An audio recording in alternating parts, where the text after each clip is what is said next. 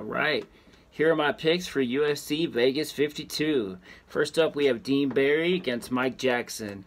Uh, the clear pick here is Dean Barry. Mike Jackson doesn't really like getting hit. He's a photographer and a journalist. Um, Mickey Gall KO'd him. His only win is against uh, CM Punk, who uh, we all know who how that worked out.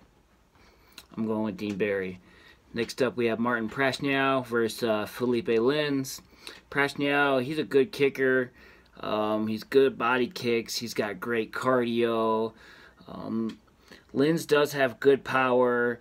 Um, I just don't think he'll be able to last that long. He's going to gas out.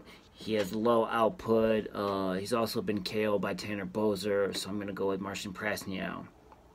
Next up, we have uh, Aori forgive me if I uh, butcher the names, against Cameron Else. Aori is uh, all around. He's a better striker. He's better cardio. He's got good wrestling. Um, he may slow down in the end third round though. Uh, Cameron Else, um, really, he's kind of one of those takedown and sub guys. Uh, and if he doesn't get it in the first two minutes, he's probably going to gas out and lose. So I'm going to go with Aori on this one. Next up, Tyson Pedro versus Ike Villanueva. Tyson Pedro is coming off of a three and a half year layoff. Um, he should be in great shape though. Um, I think he can win this fight however he wants. Um, Ike really doesn't have any wrestling, any submissions.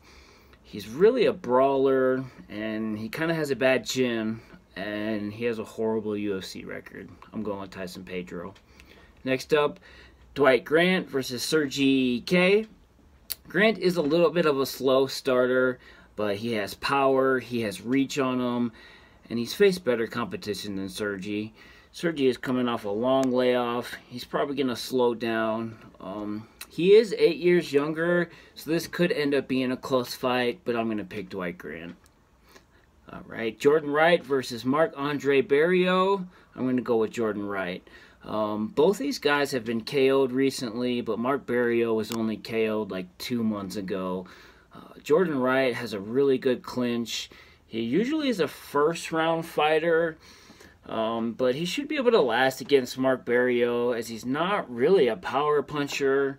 Uh, but Marc Barriault could out wrestle him and hold him down on the ground for, for the whole fight, so you never know. But I am going to pick Jordan Wright. Right. Evan Elder versus Preston Parsons. I'm going to take Preston Parsons. Um, there's not a whole lot to say there. Evan Elder's coming in on short notice.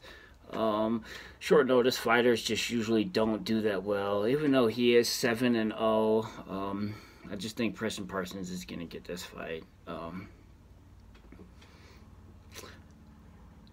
right. Lando Vannata versus uh, Charles Jourdain. I think I'm saying that right. Lando Vannata is, uh, I mean, he has good power. He's a good wrestler. He can mix it up well. Jourdain is usually pretty flashy and likes to counter a lot. Um, their striking is pretty even. Um, Jourdain wrestling and BJJ is not that great. Lando, he moves really well. He's well rounded he has a clear path to victory. You know, a lot of people are saying this is going to be the fight of the night. These two people are going to go out and bang. But if Lando Vannata has any sort of fight IQ or great coaching staff, I mean, he should use his wrestling and just take it to him, take it down to the mat, and he should be able to get a clear victory against Jourdain if he uses his head. Maycee Barber versus Montana De La Rosa.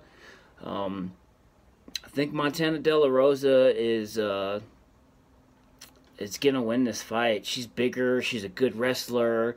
Her striking is is getting better. Um, I, I think she should win this over Maycee Barber, who's just loved by the UFC for some reason, but uh, I'm just not that big on her. Um, we all, and then uh, oh, did I skip? Oh, Alexander Romanov versus Chase Sherman. I think Alexander Romanov should win this one. Um, he should be able to take him down and ground and pound easy or sub him. Chase Sherman is coming in on this fight short notice. He just got re-signed by the UFC to a new four-fight deal right after getting cut. Um, he says he's out of shape. He's just going in there to have fun. Um, he's guaranteed another fight, after this no matter what. So, I mean, he's probably going to lose. The co-main event, we have Clay Guida versus Claudio Puelles. Claudio is not a really good wrestler, but he's great BJJ off his back. Um, he does have a really nice left kick.